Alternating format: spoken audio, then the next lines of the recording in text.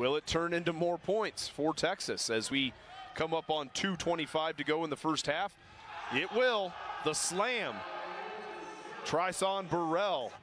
Nine second differential between shot clock and game clock. Burrell now driving. Oh, that's too easy as they just gave him the lane and he slams it down with the right hand. Good recovery there by Anthony Lawrence. Now five on the shot clock. Burrell will spot up for three. Smooth looking shot there by Trahson Burrell. He now has seven points. That would cut that into just a one point game right now. Eric Holman, nice pass to the cutting Burrell. Matthias, he's going to drive on LeCue, bounce pass to Burrell, back door, beautifully executed there.